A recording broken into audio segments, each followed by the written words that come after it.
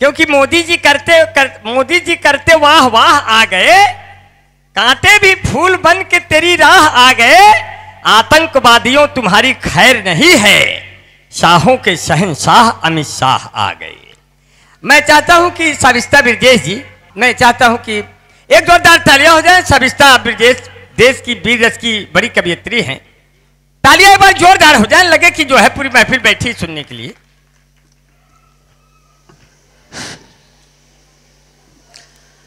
आपके विद्यालय में पहली बार यहाँ पर आई हूँ।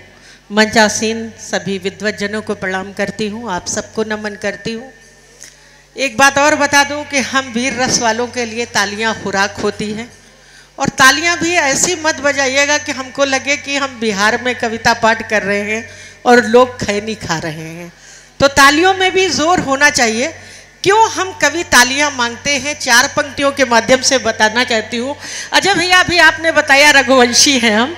बस इसी बात को आगे बढ़ाते हो सुनिएगा कि कहीं वो हल आपके दिल को छू रहा है, तब चार पंक्तियाँ देती हूँ और आप सबका की तालियाँ मांगती हूँ, सुनिएगा। कि न तुम हिंदू मुझे लिखना, न मुसलमान लिख देना। न तुम हिंदू मुझे लिखना, न मुसलमान लिख देना।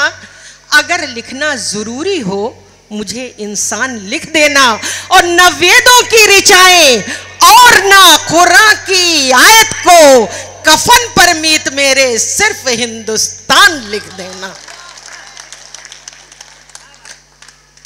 वाह। तो मैं कह रही थी बात तालियों की चल रही थी मेरा मन कर रहा है एक सच्चे मुसलमान की हैसियत से चार पंक्तियाँ देती हूँ और बताती हूँ कि मैं कविता में तालियाँ क्यों हमसे सब आपसे मांगते हैं। सुनिए कि राम मंदिर की नौ सृजना चाहिए। आसुरी वंश की वर्जना चाहिए। धीमी ताली तो बक री की में में लगे। और सिंह हो तो हमें गर्जना चाहिए। सिंह हो तो हमें, हमें गर्जना चाहिए। गर्जना चाहिए। और अभी कुछ दिन पहले कभी हमारे मंदिरों पर हमला हुआ, कभी हमारी दरगाहों पर हमला हुआ तो कहीं दिल आहत हुआ, लोगों ने बहुत कुछ आतंकवादियों को लिखा, लेकिन हम आशावादी कवि हैं, चार पंक्तियाँ देती हूँ कि आतंकवादियों को चुनौती स्वरूप इस विद्यालय से कि जो मन में आए तोड़ो। हमारे हिंदुस्तान को तुम मिटा नहीं पाओगे। क्यों नहीं मिटा पाओगे? चार पंक्तियाँ सुनिएगा कि एक एक अक्षर दानियत करेगा कवि। भारत में अक्षरों का ग्राम बन जाएगा एक अक्षर धाम की बात करते क्या बात है? कि एक एक अक्षर दानियत करेगा कवि भारत में अक्षरों का ग्राम बन जाएगा। और कहाँ तक विध्वंस करेगा वो मंदिरों का? घर घर रघुनाथ धाम बन जाएगा। और नाग पंचमी को दूध जिसने पिलाया तुझे कालिया के फन पे वो शाम बन जाएगा। और बाबर गजनवी के अनुयायी बने यदि बच्चा बच्चा मेरा श्री राम बन जाएगा। क्या बात है? वाह। मेरे ख्याल से जो लोग पीछे बैठे हैं, अगर थोड़ा आगे आ जाएँ तो बहुत अच्छा जी जी सब लोग आगे आ जाइए। मैं निवेदन करूँगी आप सब थोड़ा आगे आ जाइए। थोड़ा आगे आ जाइए जितनी ज़्यादा प्रधान जी सबको लेके आगे आ जाइए। आप हट के न रहिए सट के रहिए। जी। जी। देखिए कवि सम्मेलन श्रोता और कवियों के बीच जो है कुछ पलों का इश्क हुआ करता है। और इश्क जब एक आप हट तरफ़ के हो तो सजा देता है इश्क जब दोनों तरफ़ हो तो मज़ा देता है। इसलिए कुछ आप चले कुछ हम चले। चलिए आगे बढ़ती हूँ। बात अभी आई कि आतंकवाद देश से खत्म क्यों नहीं हो रहा? उसका कारण है कि हमने आतंकवादियों को तो सजा दी, लेकिन कुछ लोग ऐसे भी देश में थे जो आतंकवाद का समर्थन कर रहे थे, लेकिन हमने उनके लिए कुछ नहीं किया। संविधान में एक छोटे से संशोधन की मांग करती हूँ, और अगर लगे कि यही आतंकवाद का हल है, तब आपकी तालियाँ चाहती हूँ। पंक्तियाँ सुनिएगा कि कौन मेरा अपना है, कौन है पराया यहाँ? फिर से घरों की जी तलाशी होनी चाहिए। और मित्र जो हमारा बने, हमसे गले जो मिले, बंधु वो हमारा विश्वासी होना चाहिए। और महफूज मथुरा, अयोध्या व दरगाह, और महफूज मेरी काशी होनी चाहिए।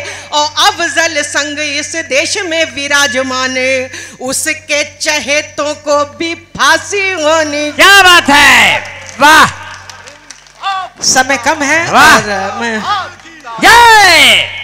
और एक रचना देती हूँ। मैंने कहा मैं एक शब्द पकड़ती हूँ और उसी पर अपनी कविता कहती हूँ। आदरणीय आपने रघुवंश की बात की। मेरा भी मन कर रहा है मैं छत्रियों पर ही कुछ सुनाऊं? और आपको देखकर तो बहुत ही दिल कर रहा है। सही बात तो, हो गया। हाँ मतलब अगर कुल मिलाकर राजस्थान का इतिहास निकाल दिया जाए तो हमारे देश में कुछ बचता नहीं। एक कविता सुनिएगा। हमारे देश को पराभव का इतिहास दिया गया, उद्भव का इतिहास नहीं दिया गया। हमारे देश में यह बताया गया कि अकबर इज़ द ग्रेट मीना बाज़ार लगाता था आगरे में, और ये बाज़ार तीन महीने चला, तीन महीने के बाद बंद हो गया। लेकिन किसी ने ये नहीं बताया कि ये बाज़ार क्यों बंद हो गया। मैं इतिहास का एक ऐसा वर्क खोलती हूँ, जिसके बारे में बहुत ही कम लोग जानते हैं। आइए नमन करती हूँ उस राजकुमारी को जिसने ये मीना बाज़ार बंद कराया, सुनिएगा एक छोटी सी रचना और समय अपने आने वाले कवियों को। कि कथा है, जब भारत में मुगलों का झंडा फहराता था दिल्ली का एक बादशाह मीना बाज़ार लगाता था। राजपुतानी स्त्रियों को जबरन वहाँ बुलाता था। पराधीन राजाओं का सर लज्जा से झुक जाता था कि दुशासन हंस रहा और अर्जुन का पौरुष सोया था। इस स्थिति को देख हिमालय फूट फूट कर रोया था। एक दिन इन बाजारों में आई थी एक सुंदर बाला। अजय भैया, वीर रस का कवि, श्रृंगार रस कैसे लिखता है देखिएगा कि एक दिन एक गाना आया था मार्केट में, चोली के पीछे क्या है चुंदरी के नीचे क्या है, घोर श्रृंगार लिख रही हूँ और बता रही हूँ कि चोली के पीछे क्या है, पंक्तियाँ सुनिएगा कि एक दिन इन बाजारों में आई थी एक सुंदर बाला। अंग अंग में माँ दत्ता थी, यौवन की थी मधुशाला। पीली लहंगा चोली में अप्सरा उतर कर आई थी। या जाड़े की घाम धरा का चुंबन लेने आई थी। और उन्नत वक्षों पर नारंगी आंचल जब लहराता था, अरे मानो मंदिर पर जैसे भगवा झंडा लहराता था। वाह! कि, मन, कि मंदिर की ये दिव्य ज्योत निर्भय हो कदम बढ़ाती थी किंतु विवेक ऐसा था कि हर आहट क्या बात जाती थी। कि पद्मिनियों की वंशज थी सुख वैभव नहीं लुभाता था। बार बार सुधियों में उसके चिता का बिस्तर आता था। एक नकाब पोष मानो उसके पीछे पीछे था घूम रहा। उसके रूप लावण्य को नैनों से अपने चूम रहा। एक खैमे के भीतर उसने नारी को है खींच लिया। मानो किसी भेड़िए ने हिरनी को कर में भींच लिया। बाहों में आकर हिरनी पल में वहाँ शेरनी बनी। बाहों में आकर नारी फिर महिषासुर मर्दनी बनी। बिना गवाए समय हाथ में उसने सुनो कटार लिया। फिर दुश्मन की छाती पर पंजों से है प्रहार किया। दुश्मन की छाती पर सिंगने की सिंगनी के पंजे की चोट पड़ी। देह शत्रु की पीड़ा से गिरकर धरती पर लौट गई। सीने पर फिर पैर रखा, गर्दन पर रखी कटारी है। लगता है रणचंडी बनकर दुर्गा वहाँ पधारी है। अरे दोनों चितवन मिले क्रोध से। धरती माँ चिल्लाई है। अरे लगता है तिरकूट छोड़कर शेरा वाली आई है। नोच लिया। बढ़कर नकाब रानी को आया चक्कर था उस नकाब के पीछे देखा वो तो राजा अकबर था बोली रानी समझ गई तेरा मीना बाज़ार यहाँ? इसके पीछे कामुकता का चलता है व्यापार यहाँ?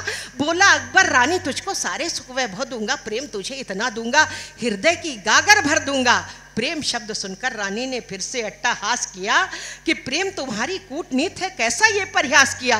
वैलेंटाइन डे मनाया जाता है। अब भारतीय प्रेम देखिएगा कि रानी बता रही है कि प्रेम शब्द सुनकर रानी ने फिर से अट्टाहास किया। प्रेम तुम्हारी कूटनीत है, कैसा ये प्रयास किया? प्रेम हमारे भारत में है, मीरा का दीवानापन। प्रेम कन्हैया की बंसी है, राधा का है अल्लड़पन। प्रेम पिया का बिंब है, जिसका सजनी बन जाती दर्पण। प्रेम खोज में कस्तूरी के हिरनी का है पागलपन। प्रेम चकोरी से चंदा का मीठा एक अनुबंध बना और पपीहा से स्वाति का कोमल एक अनुबंध बना। प्रेम मोगरे के जैसा है, खुशो तो महकाता है और अगर रूठे खुद का एहसास नहीं करवाता है, एक जन्म का नहीं, प्रेम तो सात जन्म का नाता है। प्रेम मेरा पत के घर से शमशान भूमि तक जाता है और प्रेम कठिन प्रेम कि जिसका अपर में हर कोड़ लगा। अरे राष्ट्र प्रेम के आगे ये सिंदूर भी हमको गौर लगा। वाह क्या बात है कि सुन अकबर नारी का हम इतिहास तुझे बतलाते हैं एक अकेली रानी और पूरी मुगल सेना। स्वागत है रुचि द्विवेदी। स्वागत करते हुए सविता कि सुन अकबर नारी का हम इतिहास तुझे बतलाते हैं काल चक्र को हम अपनी इच्छा अनुसार चलाते हैं पन्ना बनकर देश प्रेम पर सुध की भेंट चढ़ाते हैं एक अकेले तिनके से रावण को मार गिराते हैं और मेरे चरणों की रज से ये बाग सुवासित होते हैं। अरे तुम क्या हो अकबर हमसे यमराज पराजित होते वाह वाह वाह वाह वाह। और अब अपना परिचय देती अच्छा, हैं सुनिएगा कि ये राजकुमारी कौन थी? कि मेवाड़ सुता हूँ जो वीरों की जन्मभूमि कहलाता है। खतरे में हो लाश देश की बच्चा लड़ने आता है। कल्याणी का बेटा तैमूरों को मार भगाता है। अंगारों से खेलूं तो सुन जौहर वो कहलाता है कि हमने सत्रह बार गजनवी तेरा यहाँ खदेड़ा है। सोलह बार तुम्हारा गोरी पकड़ पकड़ कर छोड़ा है सम्राट सिकंदर का। हमने ही अहंकार भी तोड़ा है। खिलजी की गंदी चालों की गर्दन को यहाँ मरोड़ा है। अरे तेरी गंदी चालों को मैं आज मसल कर रख दूँगी। अरे मैं सूर्य वंश की छत्राणी इतिहास बदल कर रख दूँगी। कि सूर्य किरण है नाम हमारा, लाज हमारा गहना है। परिचय दे रहे हैं कि सूर्य किरण है नाम हमारा, लाज हमारा गहना है। सांगा का नाम सुना होगा, अकबर वो बाबा अपना है। सांगा की पोती को अब इतिहास नया एक रचना है। खून से तेरे बाबा के घावों पर मरहम रखना है। और एक बिंदु उठाती हूँ, हल्दी घाटी का नाम हल्दी घाटी क्यों पड़ा? वहाँ न हल्दी पाई जाती थी, न पीले मकान थे, तब पंक्तियाँ कहती हूँ, सुनिएगा, कि सूर्य किरण है, नाम हमारा, लाज हमारा गहना है। सांगा का नाम सुना होगा, अकबर वो बाबा अपना है। सांगा की पोती को अब इतिहास नया एक रचना है। खून से तेरे बाबा के घावों पर मरहम रखना है। और मेरे बाबा के भय से पीली घाटी की माटी है। अरे इसीलिए उस घाटी को सब कहते हल्दी घाटी। के थर थर। काप उठा अकबर बोला माता उपकार करो। ये जितनी आसुरी शक्तियाँ बहुत डरपोक होती हैं, सुनिएगा। कि थर थर काप उठा, अकबर बोला, माता, उपकार करो।